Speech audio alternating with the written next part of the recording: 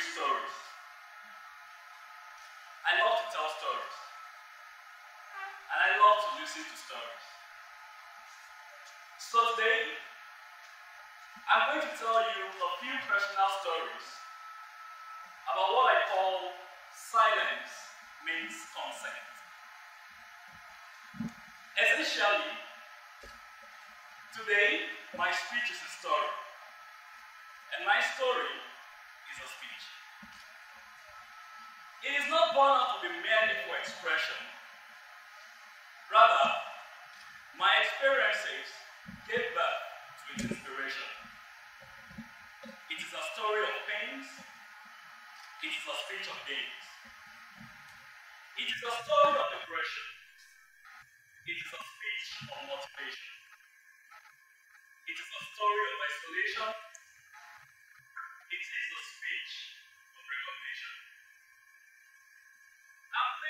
Forgive me if I do not sound like a master storyteller.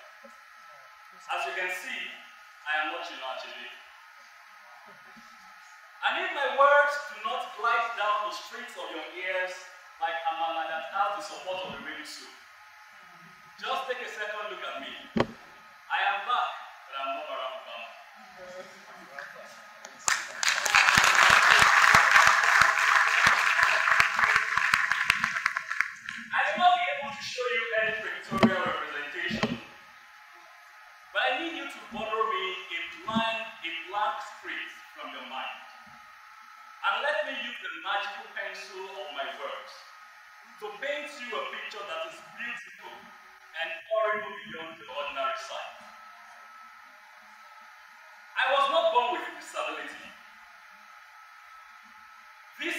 Makes exactly 20 years since I've been crippled, but I was not born this way. So I still have a little memory of what it felt like to walk around without crutches or move without a wheelchair. A little memory of mobility independence. As I am permitted to be honest with you,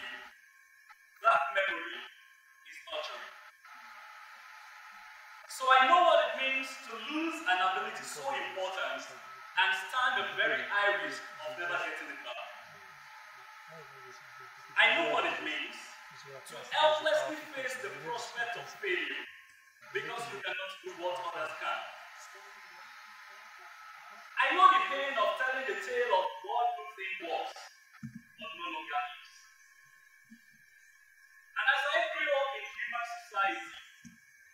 disability is often confused with inability, it didn't take me so long, even as a child, to discover the dangling possibility of failure hanging over my shoulders as a disabled child in this specially designed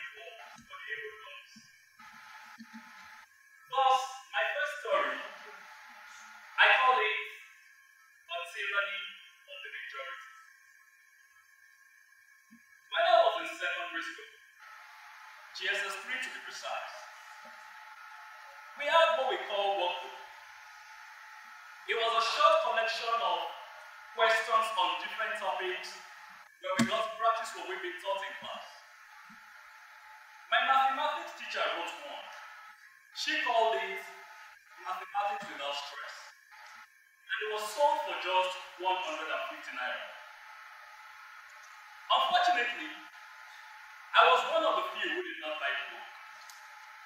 Not because I chose to, but for reasons I presume is more than obvious. I just could not afford that ridiculous sum of 150 naira to buy a workbook. So in one of my later classes, after my math teacher asked me to buy the book, and I said, I do not yet have the money. She looked at me contemptuously and said, This you do not have. That you do not have. What in your life will you ever have? Teacher seems to have forgotten is that what I will eventually have in life is not dependent on what I had back then. Besides, The logic behind a huge percentage of the class being able to afford the workbook, but just I and a few others could not, seems to be beyond my teacher's reasoning. My teacher judged based on the response of the majority, but failed to consider the individual financial capacity. Now, if you think my math teacher was unfair, you're right. But you can as well say the same for yourselves. Because we are all part of a society that thinks nothing of the minority due to the prominence of the majority. Undoubtedly, the minority of discussion here today are persons with disability. Though statistics are scarce and sometimes inaccurate about disability, the World Health Organization earlier this year says that about 15% of the world's population live with one form of disability or the other. The 2006 Nigerian population census says that about 3.2 million Nigerians live with one form of disability or the other out of an estimated population of about 140 million. That amounts to a minority, forming about 2.9% of the Nigerian population, which explains why government policies and programs will favor a majority of 97.1% over a disabled 2.9 minority. A more recent statistic by World Disability Report says that about 13.7% Nigerians live with one form of disability or the other. That is still very small. So the society is insensitive to this vulnerable set of persons because they are few. Persons with disability get pity instead of empathy, discrimination instead of accommodation, and unjustified social impunity instead of opportunities. It seems to have simultaneously evaded our consciousness that while the majority will always have their way, the minority should not only have a say, they deserve to have a space. And that is the definition of an inclusive society. My second story, I call it a prospect of failure. I never thought that I would amount to anything substantial in life, and my environment, believe me, validated that thought. I cannot remember anyone with disability on my street where I grew up who is not a beggar or just living some random unproductive life. My prospect of failure became brighter when I turned eight. It was the year I lost my mother. Until then, I never realized that every justification I had and every sense of validation that I had was built around her. After all, it was her who, against the opinion of a friend, who thought that educating a physically challenged boy is nothing but a waste of time and resources, decided to send me back to school. It was her who, after coming 22nd out of 32 pupils in my class as a nursery 2 kid, looked at me and said, You're the smartest kid in the world. But there was so mean that it snatched from me one shelter of motivation with icy at such a tender age. And I was left to face the cold of discrimination alone. One of such experiences I will never forget was from a lousy, unpleasant old woman on my street, who, because I was unconsciously standing by the entrance she was supposed to pass through, told me to get out of her way with my posture like that of a crawling snake. My mother always said I was handsome. but she gave me another picture of myself. That day I was terribly sad. And when I got to school, I couldn't pay attention in class. And when I was eventually sent home for having not paid my school fees for the term, I quietly picked my bag and walked away, against my usual habit of always trying to sneak back into the class. It was one of the few days I cried in public with most of my friends, wondering why. You see, when we discriminate, what we do is paint a negative picture of people for them. And when it, when it comes to disability, when we discriminate, we say harsh words to people or just ignore them because we feel they are worth nothing as a result of their disability.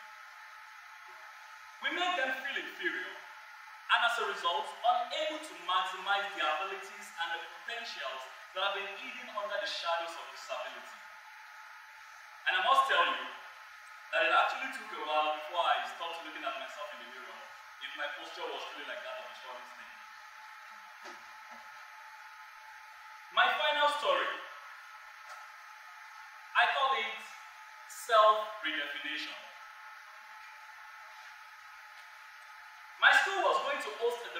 When I was in SSP. The thought of representing and speaking for my school excited me, so I decided to write a speech for the competition. To my surprise, the principal won't give me a chance. Not because she was cruel or because she did not believe in me, but in her opinion, the competition would be a whole lot of stress for me as I did not yet have a wheelchair at that time. I insisted on going through the stress, but the principal said no. Eventually, my opportunity came on the day of the competition. One of the speakers who had been selected to speak was not ready, so I was summoned to confirm if I was still interested in the competition. I did not have a speech, but I said yes all the same. And I left the principal's office for about 10 to 15 minutes preparation. All I did within that short time was pray to God and promise Him a very special offering of 500 naira, if you like call it right, if you let me know.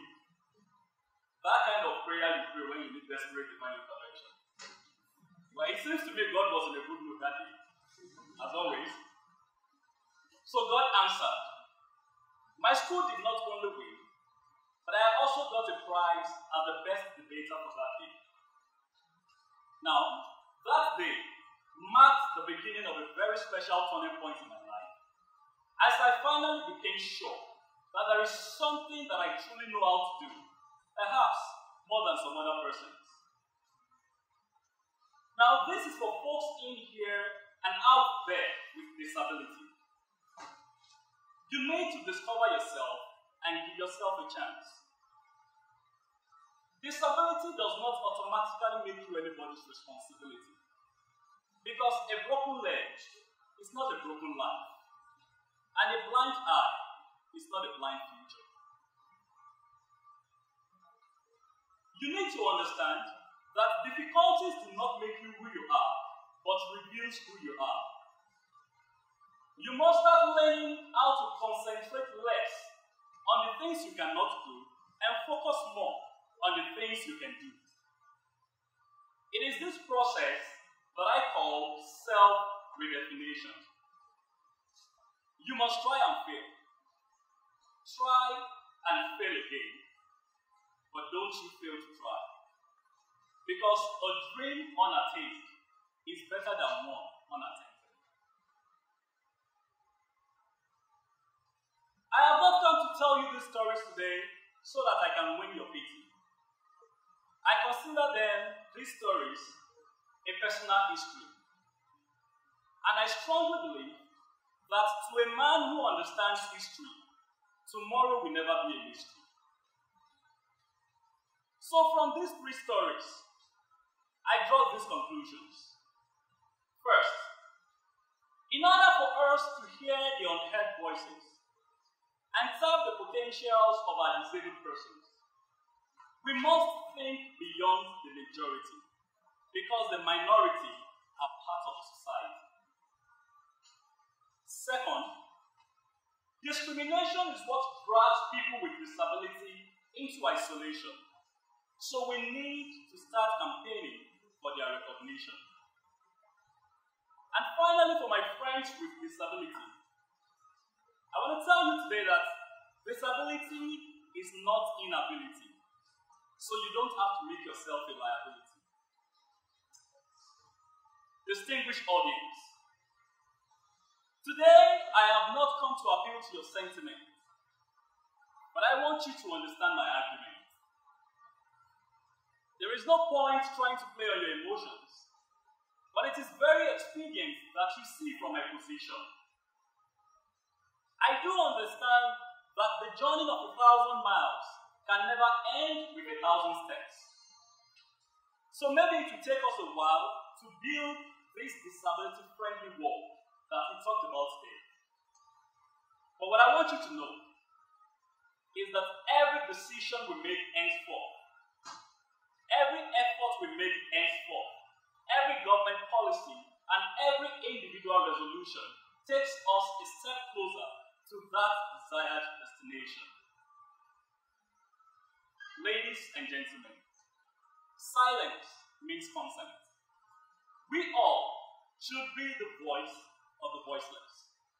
You need to tell that to your family and friends because it's indeed an idea worth spreading.